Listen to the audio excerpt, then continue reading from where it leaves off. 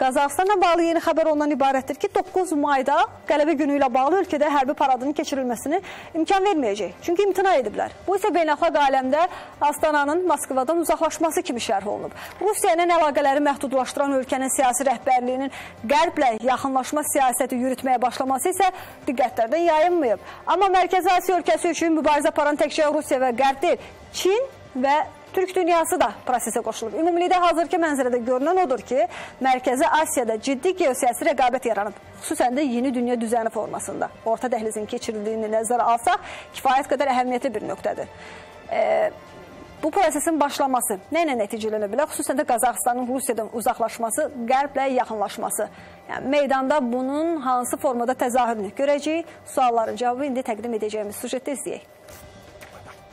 Qazaxstan Müdafiə Nazirliyinin açıqlamasına görə ölkədə 9 may qələbə günü qeyd olunmayacaq. Səbəb kimi hər nə qədər büdcəyə qənaət göstərilsə də, bu addımın uzun müddətdir davam edən Rusiyadan uzaqlaşma prosesinin davamı kimi atıldığı düşünülür. Rusiya və Qazaxstan dünyanın ən uzun quru sərhədini bölüşür. Həmçinin Ukraynadan sonra keçmiş Sovet Respublikaları arasında ikinci ən çox etnik Rus əhalisi olan ölkə Qazaxstandır. Bu da rəsmi Astanada ikinci Ukraynaya çevrilmək qorxusu yaradır. Əslində Kasım Jomart Tokayev müharibə başlayandan bir müddət sonra Rusiyanın nəzarətində olan Ukraynanın şərqindəki rayonları tanımadığı barədə açıqlaması ilə narahatlığını Kremlə çatdırmışdı. Amma rəsmi Moskvadan gözlədiyi zəmanəti ala bilməyən Astana Rusiyadakı ticarət nümayəndəliyini bağladı.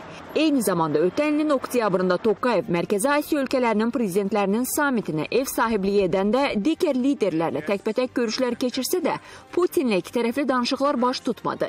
İndi isə Qazaxstan hökuməti Rusiya ilə tarixi bağlılığını parad keçirməyərək nümayişkaranə şəkildə inkar edir. Ukraynadakı müharibə Rusiya ilə tərəfdaş olan ölkələrə də təsirsiz ötüşmədi. Nəticədə postsovet məkanında Rusiyadan uzaqlaşma meylləri artdı.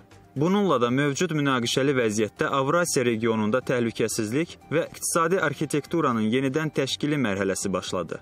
Qazaxstan cəmiyyətində, eləcə də elitasında da Moskva ilə birliyin gələcəyi ilə bağlı məntiqi suallar yarandı. Təhlükəsizlik siyasəti baxımından KTMT Qazaxstanı Rusiya ilə bağlayır. Lakin indiki vəziyyətdə onların maraqları ortaq deyil. Tokayev hökuməti də Rusiya ilə əlaqələrinin qalmadığını parad keçirməyərək nümayiş etdirir.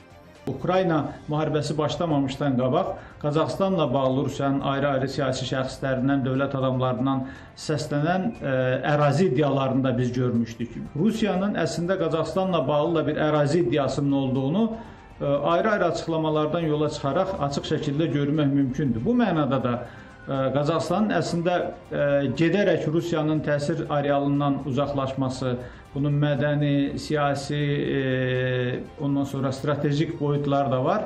Qazaxstan hökumətinin yürütdüyü bu siyasət Rusiyada özlərinə qarşı açıq demarş kimi qiymətləndirilir. Amma çətin dönəmini yaşayan Kreml Astanaya diplomatik xəbərdarlıq etməklə kifayətlənəcək. Mən düşünürəm ki, bu addım Rusiyanı çox e, bərk şəkildə qıcıqlandıracaq. Böyük ehtimal Rusiyada e, buna baxış bir mənalı olmayacaq. Amma indiki halda sırf bunu səbəb edərək 9 maya Rusiyanın e, Qazaxstana hücum edəcəyini və yaxud da ki, Ukrayna sinəsində ortaya çıxılacağını inanmıram.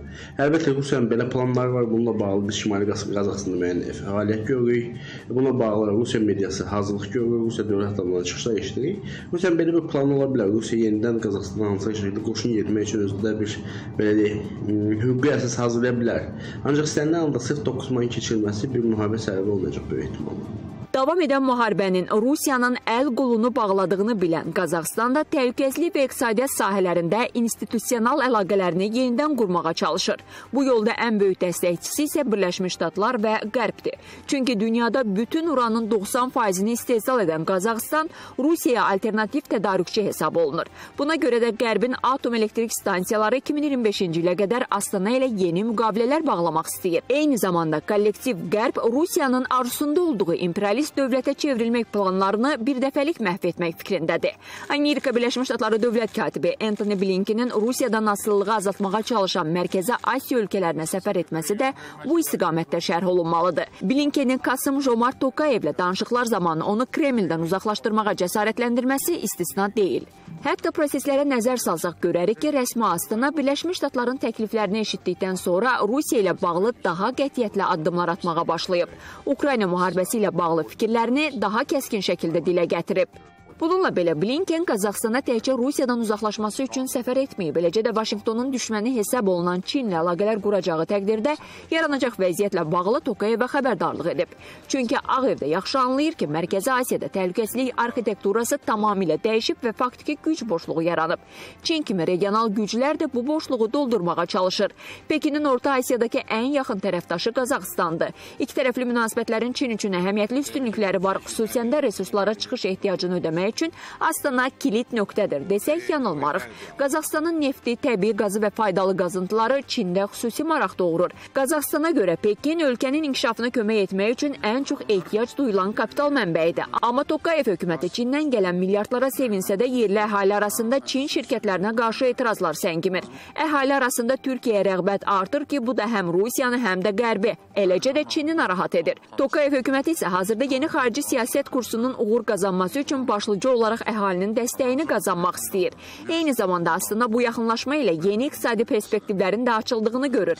Belə ki, Qazaxstan neftinin ixracını Rusiyadan yayınaraq Xəzər dənizi vasitəsilə qərbə, şimala artırmaq planlarını sürətləndirir. Astana hazırda Rusiyanın ərazisindən Qara dənizdəki Novorossiysk limanına qədər uzanan dünyanın ən böyük boru kəmərlərindən biri olan Xəzər boru kəməri konsorsiumundan çox asılıdır. Sözü gedən marşrutun əsas alternativi isə Xəzər dənizinin Qazaxstanın əks sahilində Azərbaycandan başlayan Bakı-Tbilisi-Ceyhan boru kəməridir. Artıq sözgedən kəmər ilə nəql edilən Qazaxstan neftinin ilk partiyası aprelin 22-sində Türkiyənin Ceyhan limanından yola salınıb. Bu da ona işarə edir ki, Mərkəzi Asiyanın Türk dövlətlərinin can atdığı müstəqil xarici siyasət kursunda onların ən yaxın müttəfiqləri Türkiyə və Azərbaycandır. Bu müttəfiqliyin dərinləşməsi isə Türk dövlətlərini gələcəkdə xarici təhdidlərdən qoruya bilər.